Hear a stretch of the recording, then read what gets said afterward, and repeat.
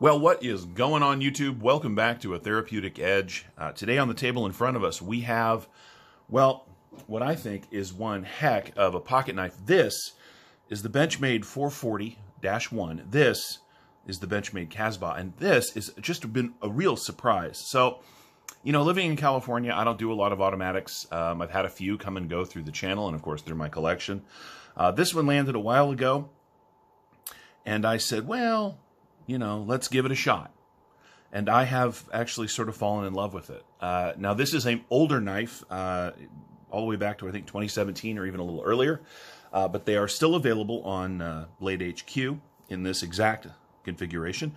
And uh, they are $161 and change. Now, I share that because in the world of autos, you know, 200 bucks and up is not a difficult thing to find. They are very expensive generally. But this from Benchmade is well pretty reasonable actually for in, in, the auto world. So what do you get? Well, you get blue Grivory uh, scales that have been sort of milled and shaped in a way that gives it a little bit of grip and some you know some feel in your hand.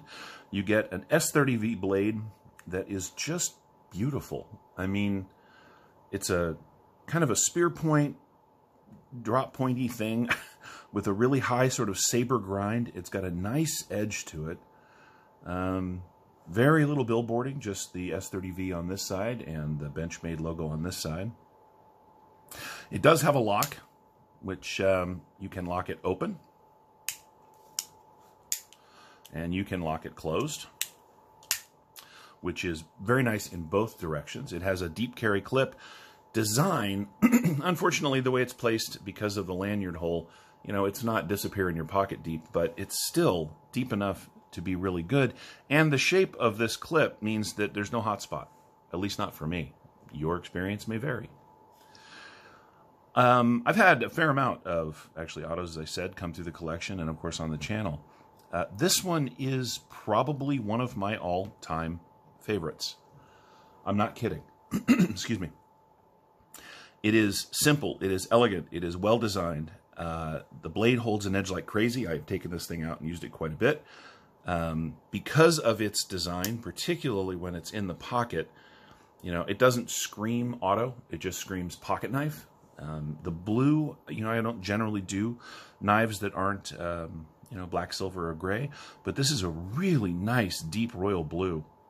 It's got a little bit of jimping back here.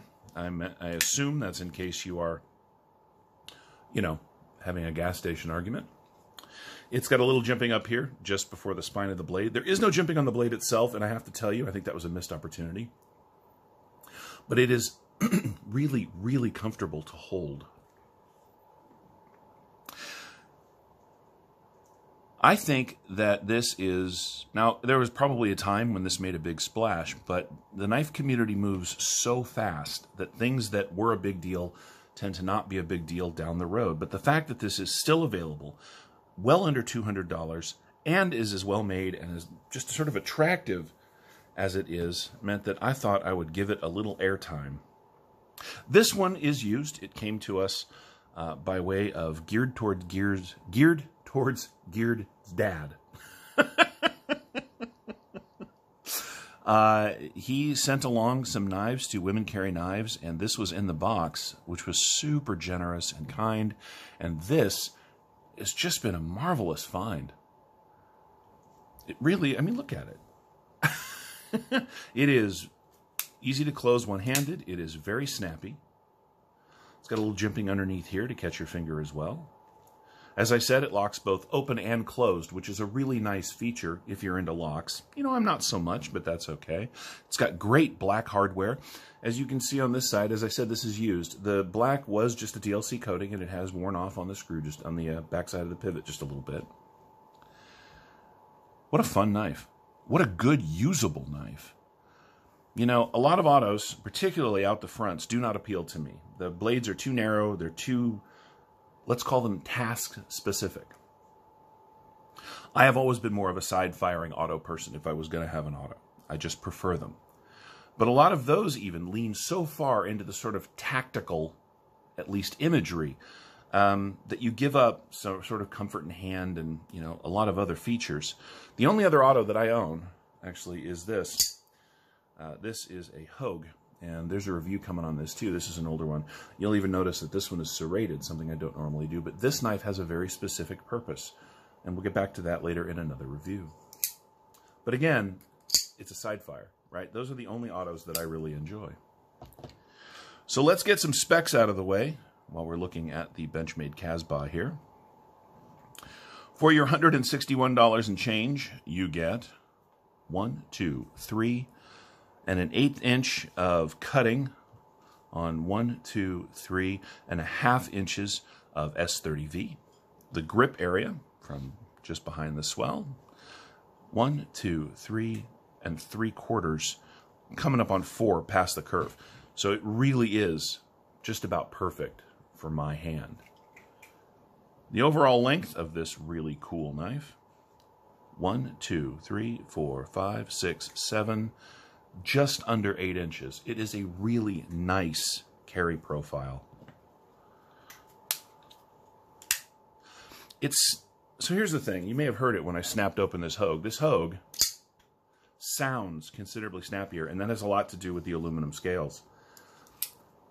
The Benchmade Casbah manages to be quick to open and yet relatively quiet because it's snapping open on this Grivory stuff. I love that. It's super low key, which makes carrying it in places where you're not really supposed to have an auto much easier to do. I'm not recommending it. Don't go out and get yourselves in trouble. But for me, you know, the fact that you can pop this thing open without it going snap um, is of great benefit, given the way that I have to carry an auto. Uh, it still opens very quickly, and it opens very firmly. There's no blade play, no rock, no nothing. This thing is locked up tight. Let's do some size comparisons. Excuse my arm. Wow, that was rude. Apologize. Here it is against the, uh, of course, our old friend, the Bug Out. And as you can see, it is larger than the Bug Out, but not tremendously so, right? I'll move this down a little bit. Move this down a little bit. And here it is against the uh, full-size Ritter Hogue. Now, the Ritter Hogue and the Casbah are very similar. Uh, of course, the Hogue's a little bit bigger. You get a little more cutting surface, right? But this helps, I think, at least it should help you understand where this thing is overall size-wise. It's been a real joy to have. And, you know, it's not, it's no thicker through the handle than the Ritter Hogue. It is just a real pleasure to use and to carry, and I think that's awesome. I really do. I wish there were more autos like this. Simple, straightforward pocket knives that just happen to be automatics. I think that would go a long way. Let's get some blade stock stuff out of the way here because I'm curious.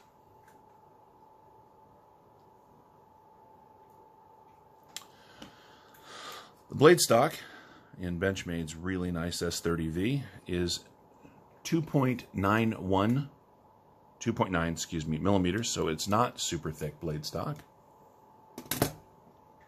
Oh, let's do the handle. At its thickest point, which is hard to get to because of that clip, it's just over half an inch, which means that it's not a super narrow carry, but it is a comfortable knife to hold on to. It really is. Oh, this thing has been an absolute blast to have around. Let's go ahead and weigh it, just because that's something we do here. Oh, I'm sorry about that glare. Uh, the lights are in a weird spot today, but that's all right. You guys can see the important stuff. 3.5 ounces for a 3.5 inch blade puts it right at that ounce per inch. This is a superior knife. I really like it. I know, I've said that a bunch. But, you know, um, one of the weird things about having a YouTube channel is that you start chasing the new. What's the newest? What's the most recent? What's the, you know, and it is really of great benefit to me as a collector when something that has been around a while shows up in my possession and gives me an opportunity to go back in time a little bit and remind myself that there are excellent knives that are out there that aren't the most expensive, that aren't the most recent. If you're looking for an excellent automatic knife from a reliable company in a good steel with good ergonomics, The Benchmade 4400-1 Casbah is a total win. Uh, this is, as far as I'm concerned, a keeper. I'll have to talk to uh, Women Carry Knives about that and see how she feels, of course. After all, she was the one that got the box of knives. But um, yeah, I mean it. If you guys are looking for a great sidefire knife that doesn't break the bank, comes from a great company, this this is going to be the knife for you. Anyway, we're going to go ahead and wrap it up now. Thank you so much for watching. This again has been the Benchmade Casbah. I have been a Therapeutic Edge. You have been my amazing audience. We'll see you next time.